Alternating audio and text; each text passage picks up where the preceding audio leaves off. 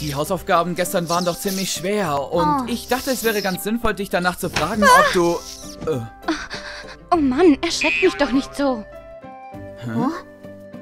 ich dachte, ich könnte dich fragen, ob du gute Lernhilfen und Übungsbücher kennst, die billig und für mich leicht verständlich sind. Ach, vielleicht noch...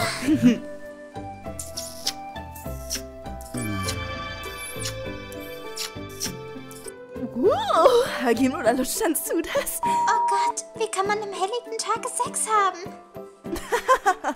Es ist ja kein richtiger. Nur, Hagimura, du magst Milch, nicht wahr? Milch unterstützt dein Wachstum, daher ist sie sehr wichtig. Sie mögen wohl keine Milch, oder Präsident? Herzlichen Dank, dass du dich auf meine Brüste beziehst. Hm? Es ist weg? Hm? Hm?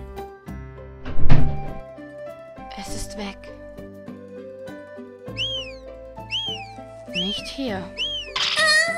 Es interessiert mich zwar nicht, aber darf ich fragen, was fehlt? Ich habe Melonenbrot im Schulkiosk gekauft und hier abgelegt.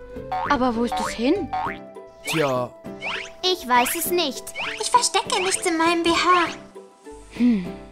Dieser Raum war definitiv abgeschlossen. Mit anderen Worten, die Tat wurde von einem Insider ausgeübt. Was bedeutet... Frau Yokoshima, Sie haben mein Melonenbrot gegessen.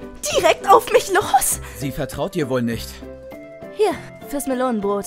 Nun ja, ich hab's wirklich für mich beansprucht. Was denken Sie sich dabei, einfach Eigentum von Ihren Schülern zu stehlen? Naja, ihr kennt das doch. Wenn man etwas Scharfes isst, braucht man danach etwas Süßes. Sie haben etwas Scharfes gegessen.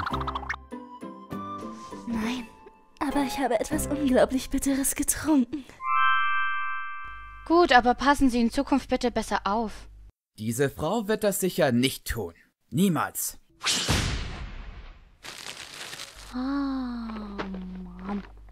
Aber mal ganz ehrlich, wie konnten Sie so schnell den Täter finden? Wenn ihr behauptet, dass ihr es nicht wisst, dann sagt ihr die Wahrheit.